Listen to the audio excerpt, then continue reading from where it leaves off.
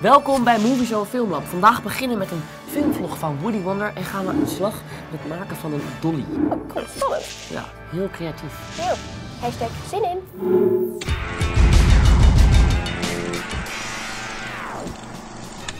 Maar we beginnen vandaag met het filmweetje over iets heel Nederlands wat eigenlijk Duits is. Hey guys, ik heb een vraag voor jullie. Wat krijg ik van jullie als ik om een Dutch angle vraag? Een Nederlands hoek. Ja, is het gewoon zo op je gezicht? Of... heel leuk, nee. Nee, nee, maar wat is een Dutch angle dan? Dat is de vraag van de dag en dit is het antwoord in minder dan 60 seconden. Letterlijk vertaald is de Dutch angle natuurlijk de Nederlandse hoek. Maar wat voor hoek dan en hoezo is die Nederlands? De Dutch angle is een camerahoek waarbij de camera schuin op de as wordt geplaatst. Deze filmtechniek werd vooral bekend door het emotionele effect dat wordt opgewekt bij de kijker. Dit werd al duidelijk in 1920 toen de camerahoek voor het eerst te zien was in de Duitse film Das Kabinet des Dr. Caligari. De hoek zorgt hier voor een gevoel van desoriëntatie en ongemak. Deze film had een enorme impact op de filmwereld en zorgde ook voor de doorbraak van de hoek die destijds bekend kwam te staan als de Deutsche Engel, oftewel Duitse hoek. Door de jaren heen werd de naam Deutsche Engel verbasterd naar Dutch Angle. Een knap staaltje jatwerk, want de hoek heeft dus helemaal niets met Nederland te maken. We hebben de hoek dus gewoon van de Duitsers gejat. Eh, eh, per ongeluk. Hoewel de hoek binnenkort haar 90ste verjaardag viert, is ze very much alive en kicking. Bijvoorbeeld in de Lord of the Rings trilogie, de recente Star Trek films en Thor. Dus dat is een Dutch angle. Ja, maar eigenlijk helemaal niet iets van Nederlands dus. Nee. Maar wat wel van Nederlandse bodem komt, is Woody Wonder. Zijn dat die jongens van de Joker in the Matrix en zo van die grappige techfilmpjes? Ja, precies. En als jij nou geen idee hebt waar Pip het over heeft, kijk even op mijn YouTube kanaal, Woody Wonder. En we gaan nu eerst kijken naar een behind the scenes. En dan kan je zien hoe vet het is.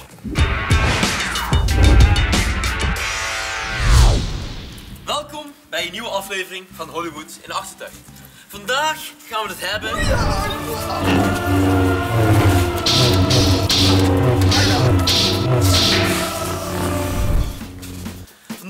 Gaan we het hebben over actie. Don't speak, even whisper.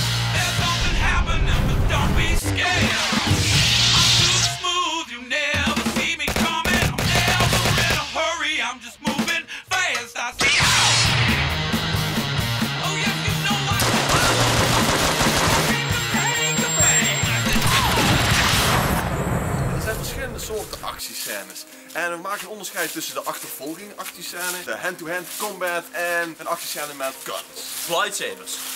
Ja, er zijn dus eigenlijk een aantal zaken waar je rekening mee moet houden als je een vechtscène gaat maken. Het begint natuurlijk allemaal bij de voorbereiding. Dus de juiste locatie is heel erg belangrijk. Plus de actie zelf. Die moet dat moet je echt goed voorbereiden. Een goed voorbeeld is Woody vs. de Joker. Daar hadden we echt hand-to-hand combat. En dat moet je gewoon goed oefenen. Ook Ja. heb je dan nog het volgende punt. Dat is het juiste camerawerk. Camera is gewoon heel belangrijk.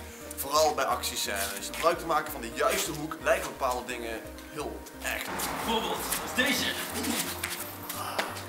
Omdat mijn hoofd net langs zijn hoofd afgaat, hebben we de illusie dat ik hem echt een headbutt geef. Terwijl het eigenlijk helemaal niet zo is. En in de nabewerking, de derde stap, maak ik het dan af. Sound effects zijn dus heel erg belangrijk. Dus als ik wou nou een flinke klap op zijn hoofd. Oh, kijk. Kijk, die komt hard aan, hè. Ja, en dan is natuurlijk ook de camerahoek heel belangrijk. Nu heb je best wel een redelijk saai beeld, maar wil je het heel episch, heel gaaf maken. Wat moet je dan doen? Low angle, ga eens laag met de camera. You don't wanna mess with us, man. Ja, nou, dit was eigenlijk de laatste stap. Maar er zijn wel een aantal dingetjes die het dan een beetje gaaf maken. Bijvoorbeeld camera shake. Camera shake kun je niet spannend beeld in één keer heel spannend maken. Bijvoorbeeld zoals dit.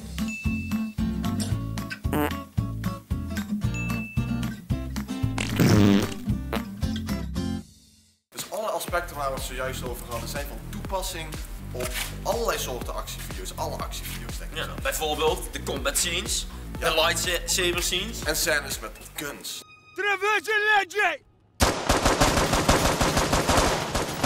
Nou, actiescènes met guns, met geweren, moeten eigenlijk even terug naar het verhaal. Want wordt er maar één schot gelost, wat eigenlijk best wel saai is.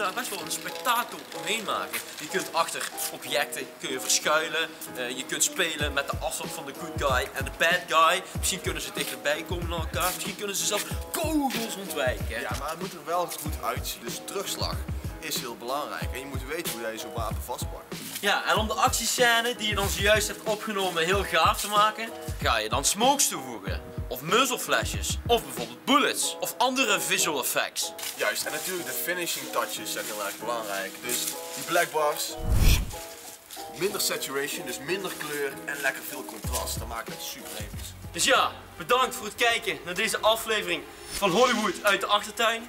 En eh, see you later alligators. Nee, dat denk ik mooi van niet. Ik heb nog iets leuks voor jou. 3, 2, 1. Actie, pak hem guys! Yeah! Dit is mooi. Never like your brother to me, man!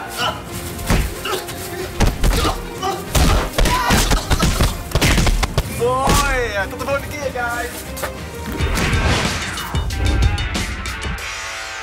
Welkom terug, dat was ontzettend vet. Maar wat ook vet is, is dit. Dit?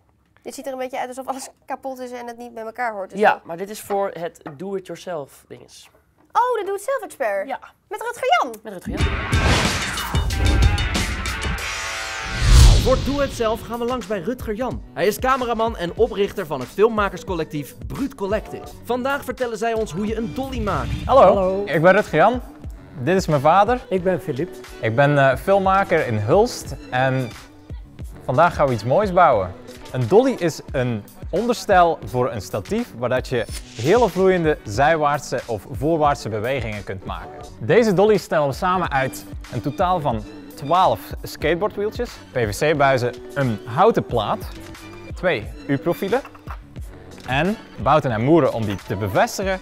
En dit totaal kost nog net geen 60 euro. Dit is het stappenplan voor het maken van de dolly. Je hebt twee lengtes op je houten plaat. Je pakt de langste lengte, daar zaag je je hoekprofiel op af. Het hoekprofiel wordt vervolgens voorgeboord op zes stukken voor de skateboardwieltjes. Vervolgens maken we de gaten voor de hoekprofielen en de houten plaat om die aan elkaar te bevestigen. De skateboardwieltjes worden om en om gemonteerd zodat ze elkaar niet in de weg zitten. De bout gaat door het skateboardwieltje en de lege ruimte aan de andere kant wordt opgevuld door carrosserieringen. Vervolgens gaat de bout door het hoekprofiel en wordt die vastgezet met een borgmoer. Dan is je dolly af. Volgende keer gaan we weer iets moois met jullie maken. Tot de volgende keer. Dag. In de Mijn Debuutals van deze week gaat onze Movie Zone reporter Eva naar de première van La La Land. Om voor het eerst verslag te doen op een gala-première. Hallo allemaal, ik ben Eva van Movie Zone en dit is mijn eerste gala-première. Ik ben nu bij Tuschinski in Amsterdam. Ik vond het ehm, heel leuk om naar deze première toe te leven, omdat ik de trailer denk ik wel twintig keer heb gekeken achter elkaar. Heb je lang voorbereid vandaag? Eigenlijk niet. Ik eh, moest racen van opnames waar ik nu mee bezig ben. eh, dus het was een half uurtje dat ik me aan kon kleden. Maar ja, superleuk. Ik heb zoveel zin in. Het is heerlijk om even te zitten en weg te zwijmelen met zo'n heerlijke musical. Hoe is het om naar de rode lopers als dit te gaan? Eh, nog steeds heel spannend. Ik vind het nog steeds heel raar en zo. En ik, ik lach wel, maar dat is vooral vanuit een haha, ik kom hiermee weg. Wat is jouw favoriete musical? De bodyguard natuurlijk. Ja, dat is wel een gedoe. Moet, de jurk moet opgehaald worden en eh, helpen in de in de jurk moet helemaal strak. eh, voor mij gaat het vrij snel. Het is Los Angeles. Ja. Het is musical. Ja, ik vind dat dus leuk. Ik heb een vriend van me meegenomen, die staat daar. Eh, ja, dan trek je deze eh, even uit de mottenballen en dan is hij er weer. En je hebt wel de trailer gekeken of... eh, Ik vind het dus geweldig.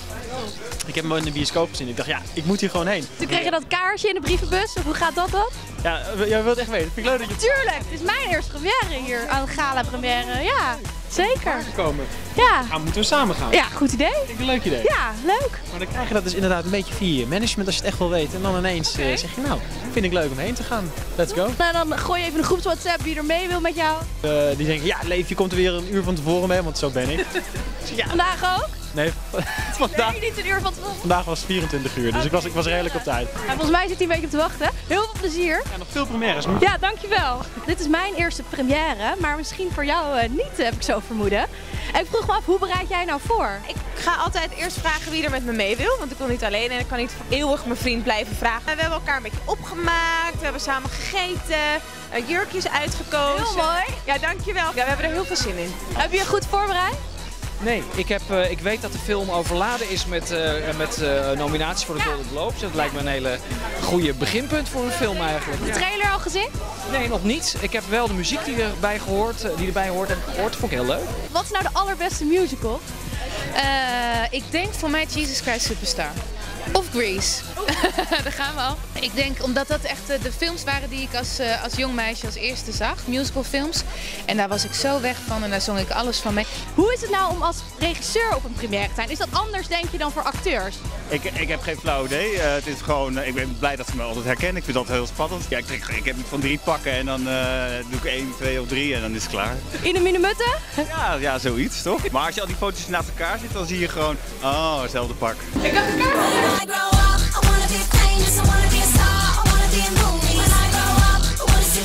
Ik trek hem nog even op en wij gaan filmen en we gaan niet filmen. Ik spreek jullie straks. It's pretty strange that we keep running into each other. Maybe it means something. I doubt it. Yeah, I don't think so.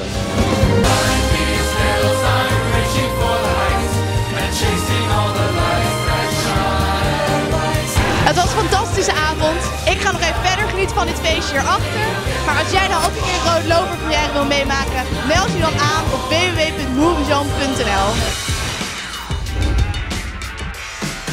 Nou, thanks voor het kijken. Check moviezone.nl voor extra content en de prijsvraag. En vergeet je niet aan te melden als Moviezone Talent, want wellicht word je dan onze nieuwe collega. Gezellig. Toedeloe. Toedeloe. Of ik ooit wel eens uit de bioscoop ben gelopen? Nee. Ik ga ook heel veel naar de bioscoop, maar zelfs de slechtste films kijk ik uit. Eh, gewoon omdat ik zelfs bij slechte films kan ik nog wel puntjes vinden die ik wel leuk vind. Bijvoorbeeld, ik ben naar, laatst naar Prooi geweest van Dick Maas. Nou ja, het is een heel slechte film eigenlijk, maar ik heb me suf gelachen om die film. Vooral omdat hij zo slecht is. Maar ook, ook echt in B-films, en die echt heel slechte films, kun je af en toe nog zien dat, eh, dat degene die hem heeft gemaakt toch wel ergens een soort talent heeft. Wat ik bij Dick Maas dus wel zie, is dat de dialogen zijn wel zijn niet al te slecht en hij heeft wel humor. Dus ik denk dat je, ook al is een film heel slecht, je hem toch een kans moet gunnen. Om helemaal uit te kijken. Er zijn ook mensen die er heel hard aan hebben gewerkt. Dus dan vind ik het ook waard om het helemaal uit te kijken.